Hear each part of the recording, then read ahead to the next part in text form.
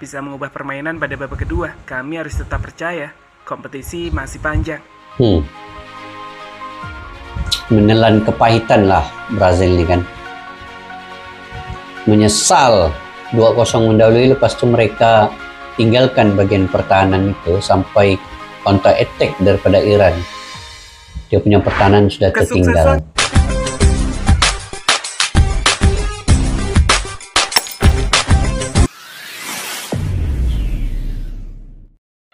Assalamualaikum dan salam persaudaraan, salam sepak bola Piala Dunia U17. Oke guys, beberapa kejutan telah berlaku ya. Brazil kalah kepada Iran 3-2 walaupun telah mendahului 2-0 tetapi comeback daripada Iran sehingga mencetak 3 gol dan sekaligus menang ke atas Brazil. Kemudian Argentina dikalahkan Senegal 2-1 ya.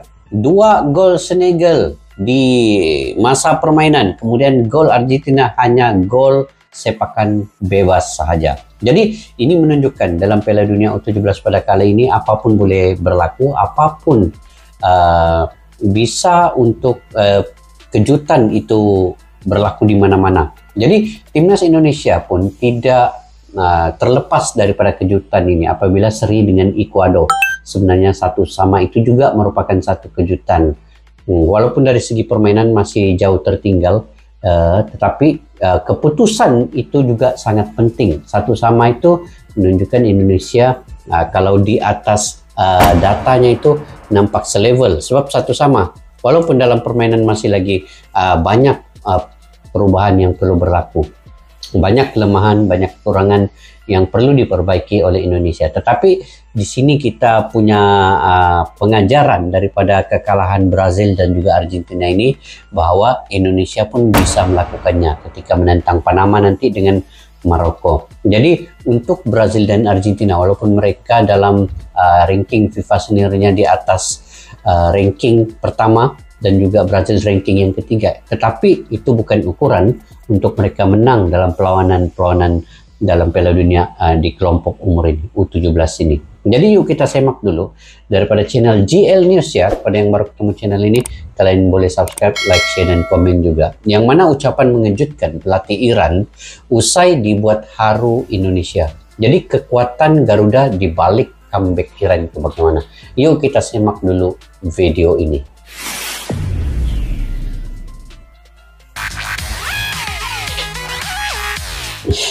GL News guys jangan lupa subscribe. Oke ini stadion JIS Jakarta International dan uh, Brazil menentang Iran itu. Selamat datang kembali di channel KL News. Masih sama seperti video-video sebelumnya kita Banyak juga akan kembali bahas cerita menarik soal ajang Piala Dunia uh, Iran di sana kan? di Indonesia di mana kejutan demi kejutan sudah kita saksikan di laga pembuka hmm, Piala Dunia dari berbagai ya. grup.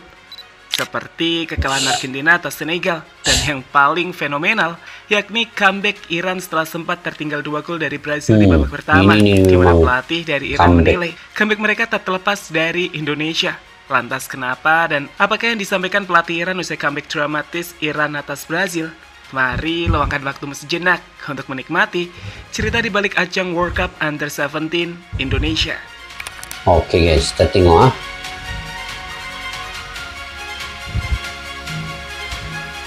Kekuatan Garuda di balik comeback Iran ini, ke mana? Ada sesuatu yang boleh dipelajari ya daripada kemenangan Iran ke atas Brazil ini ya. Sebab ini dorang mendapatkan tiga gol guys selepas ketinggalan 2-0 itu sangat luar biasa ya tiga gol itu. Inilah hebatnya sepak bola. Tak semua tim yang diunggulkan di atas kertas bisa meraih hasil yang sesuai dengan prediksi. Dan hal itulah yang jadi kejutan di ajang Piala Dunia U17 Indonesia hari ini. Oh, ini Selain Indonesia sukses menggantikan Ekuador yang lebih diunggulkan, kejutan demi kejutan kembali terulang di mana dari Jakarta International Stadium, Brazil yang jadi unggulan di grup C Sukses dikalahkan oleh kuda hitam Asia, tim Nasiran. Hmm. Kuda hitam Asia. Siapa sangka ya, 3-2 selepas ketinggalan 2-0 itu.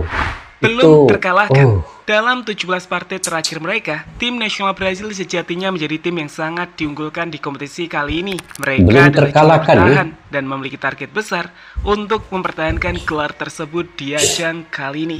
Keinginan itu sendiri sepertinya bakal menjadi perjalanan yang cukup mudah di pertandingan perdana mereka ketika tim Seleco sukses menguasai pertandingan dan tampil dominan di babak pertama. 15 shot dari tim Brazil mereka lepaskan dan dua gol yang berasal hmm. dari Ryan membuat Brazil nampak sangat rileks ketika turun minum paruh permainan. Tapi tunggu. Tapi untuk yang kualifikasi itu Brazil ini dia seri juga dengan Ekuador nih dua sama kan? Yang kualifikasi ini U17. Cerita menarik justru terjadi di babak kedua. Entah nah, apa yang terjadi. Uh. Yang pasti, perubahan yang dilakukan Iran di babak kedua membuat serangan-serangan balik Wah, mereka ini. menjadi Oi. sangat efektif. Dimulai dari penyemangat Yakub Berake di menit 54. Iran sukses menyamakan kedudukan menjadi 2-2 di menit 69 lewat Kasra Taheri. Sebelum akhirnya di menit 73, apa yang ditakutkan Brazil menjadi kenyataan. Asik no. menyerang Brazil harus kembali menerima kenyataan saat nah, inilah. serangan balik ya, ada sudah dua orang sana. membunuh lini pertahanan hmm. mereka ketika asis dari Kasrat Taheri dengan mudah dieksekusi oleh ah. Ismail Koliade. Mula-mula sah Brazil gembira dua gol kan. Tapi akhirnya comeback Iran. Nah ini gol pertama, gol kedua, dan gol kemenangan. Mana gol kemenangan? Nah ini gol kemenangannya. Oh, mantap. Ini paling. Oi. Gembirau. Iran. Siapa anda gembirau mengalahkan Brazil kan? Comeback yang dilakukan Iran di laga tersebut terjadi berkat kelengahan Brazil yang terlalu asik menyerang. Bahkan meski sempat unggul 2-0 di babak pertama, lihat saja statistik berikut ini. Tengok statistiknya. Brazil jelas unggul segalanya. Mereka menguasai 64% penguasaan bola dengan total bola. 29 tembakan, di mana 10 di antaranya on target, tapi hanya mampu menciptakan dua gol saja. Hal nah, ini kadang-kadang jadi uh, pro dan kontra juga, ada pro dan kontra. Kalaupun kita menguasai position ball, macam ini 64%, Iran 36%, tetapi kemenangan kepada Iran Ha. Demikian juga macam Indonesia ketika menentang Ecuador tu. Ecuador menguasai position ball itu lebih uh, dekat 60% juga. Ha. Sedangkan uh, Indonesia baru 40%. Tetapi boleh imbang satu sama. Jadi walaupun permainan mungkin yalah kita Indonesia masih mencari rentak juga. Ini kan Piala Dunia mereka baru dalam Piala Dunia ini. Jadi mereka masih mencari. Mungkin perlawanan kedua mereka sudah mendapat rentak itu. Nah, kita doakan begitu guys. Jadi begitu juga dengan Brazil dengan ini. Iran nih.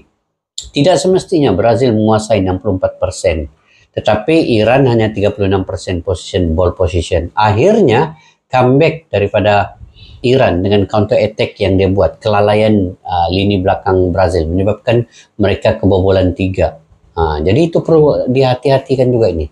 Perlu mereka uh, ini kalau sudah mendahului itu kena kuatkan lagi dengan lini belakang. serangan balik yang mereka tunjukkan. Gimana dari total 13 tembakan dan 4 yang on target mereka berhasil menciptakan 3 gol nah, yang mengantarkan mereka untuk melakukan comeback luar tapi biasa 3 golnya yang membuat fans di stadion nampak sangat bahagia. Itu oh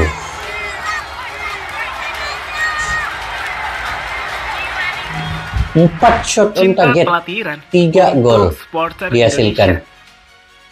Oke, cinta pelatihan kita tengok. Hussein Hafdi, pelatih tim nasional Iran Under 17, mengakui jika dukungan penonton Indonesia yang hadir di Jakarta International Stadium adalah kunci di balik comeback krusial timnya Iran atas juara bertahan Brazil. Ya, sebab para tim Indonesia uh, penyokong Indonesia kan menyokong Iran juga. menghormati keindahan yang ditunjukkan para supporter Indonesia dan mencintai apa yang dilakukan fans Indonesia kepada negaranya. Oh, saya sangat cinta mereka. Mereka sangat baik. Ini negara yang saya sangat saya hormati.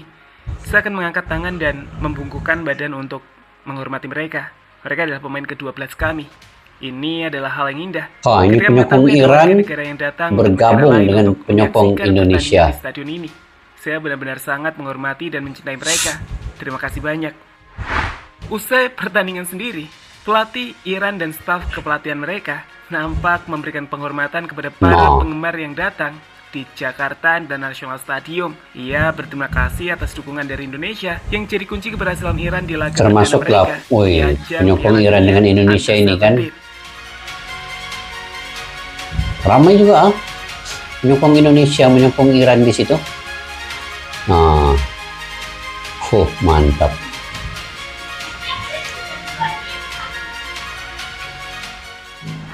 Pelatih Brazil, Hakui Iran, memanfaatkan dukungan penonton. Kalah di laga perdana jelas menjadi kekalahan yang tak menyenangkan bagi tim nasional Brazil.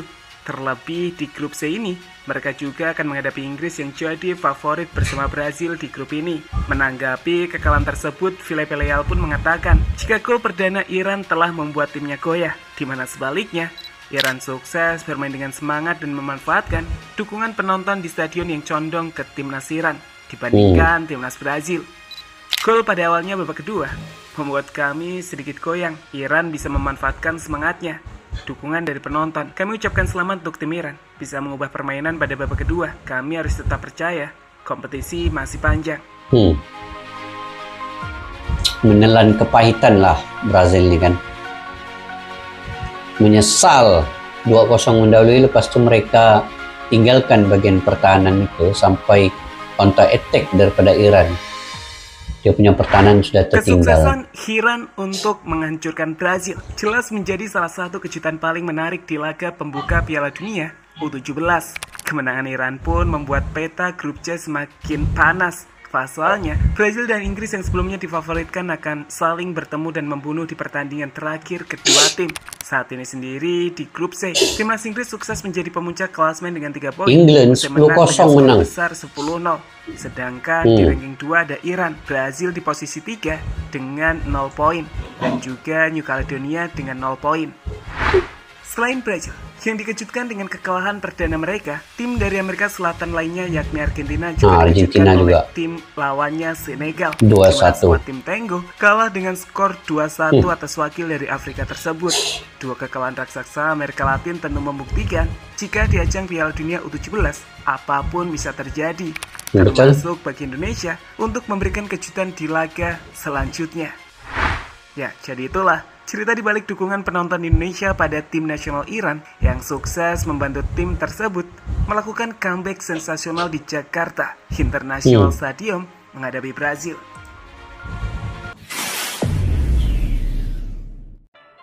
Itu dia guys, ini juga merupakan satu sejarah untuk Iran ya. Ini sejarah barulah untuk Iran Piala Dunia U17 ini. Bukan senang untuk comeback dan mendapatkan tiga gol dan seterusnya memenangi perlawanan itu.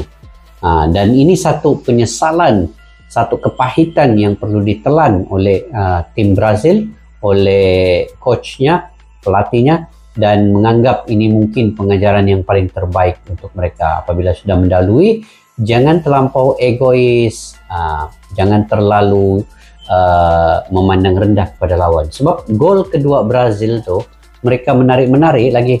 Eh gol gol pertama kah itu? Uh, menarik-narik di depan uh, penyokong Iran ini. Dan akhirnya mereka juga terkena padanya sendiri. Uh, dan selepas mendapat tiga gol kemenangan untuk Iran itu barulah mereka tahu bahwa Iran counter attack-nya itu bukan alang-alang ya. Dan mereka suka-suka meninggalkan ini bagian pertahanan ini Brazil ini. Jadi itulah akibatnya. Jadi dalam Piala Dunia U17 pada kali ini apa saja boleh berlaku. Argentina kalah 2-1 oleh Senegal ya. Senegal mendapat dua gol awal, kemudian Argentina mendapat gol di menit yang ke-91. Itu pun dengan tendangan bebas. Argentina langsung tidak dapat masuk ke dalam kawasan uh, kotak penalti Senegal dikawal dengan begitu rapi sekali oleh lima pertahanan Senegal ya. Senegal antara salah satu tim yang kuat pada kali ini. Uh, dari segi permainan dari segi ball position saya melihat Senegal lebih bagus uh, daripada Argentina. Jadi uh, Senegal lebih banyak membuat percobaan, membuat tembakan ketimbang Argentina itu tidak dapat pun memasuki area kawasan kotak penalti. Brazil, Brazil uh, bagus juga dari segi permainan, banyak menyerang, banyak shot on target, banyak tembakan. Tetapi dari segi pertahanan pula mereka lalai. Nah itu kelemahan untuk Brazil.